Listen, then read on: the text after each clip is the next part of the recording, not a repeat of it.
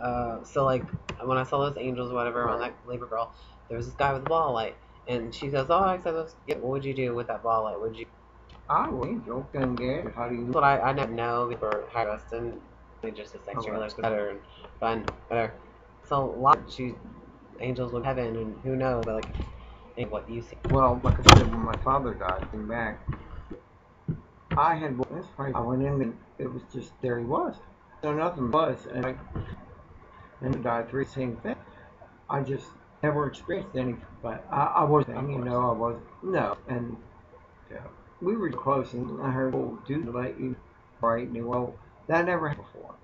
Steve, now that's now we knew each other since we five. So we were raised. We said, you know, I feel that way too, but you know, and in sexual, I don't the same age. But when he started not feeling well, I said, Steven, go get a check. Oh no, it's nothing. It's nothing. It's nothing. Well, it turned out to be colon cancer, and it was too late for them to do anything. Not only did he die, he died in the hospital in my arms on my birthday, and he told me that he said, "Look, I love you." He said, uh, and in time he said, "I hope you find someone." It was like, and just literally cry him out of my arms because they had to get my mother to come in because she was the only one that could get me to let go. You know, she she knew how to do it, and it was. He's been going 35 years now, and there's not a day that goes by I don't think of him.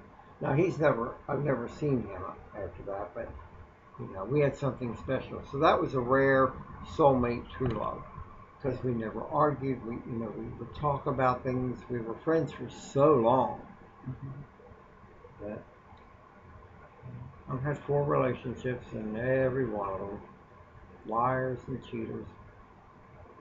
And I said to them when we got together, you know what? If you don't ever want to be with me, that's that's fine. But come and tell me. Well, of course they did. They went and had their fun.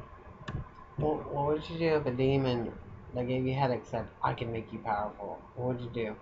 I wouldn't take it Well, what would you? because I'm Well, spiritual. of course. I mean, but what would you do? I mean, what are you gonna do about it? What are you gonna say to him, or, or nothing, or just try to ignore it, or even though it's there?